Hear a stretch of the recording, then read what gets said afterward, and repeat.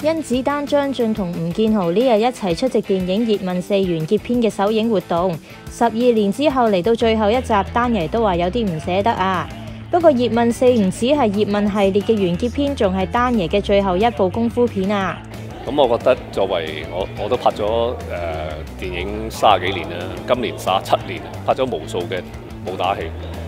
咁《葉問四》作為功夫片诶。動作片有好多類型啦，功夫片係其中一種類型啦。但係功夫片我亦都拍得唔少。咁我覺得《葉問四》係誒，我想《葉問四》係我最後一部功夫片咯。因為誒、呃、最好嘅嘢你必須要俾一個都要過一段落嘅，最好嘅嘢都會有一個有一個停嘅嘅嘅時刻。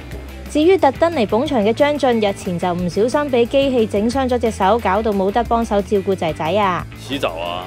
幫小孩子洗澡，还有换尿片，都现在暂时这几这几天就不行了。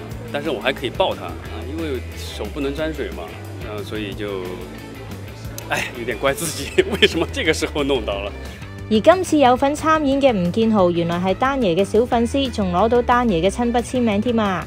就很開心，他其實，呃，把片場的時候弄得很舒服，然後也會陪我聊天，所以。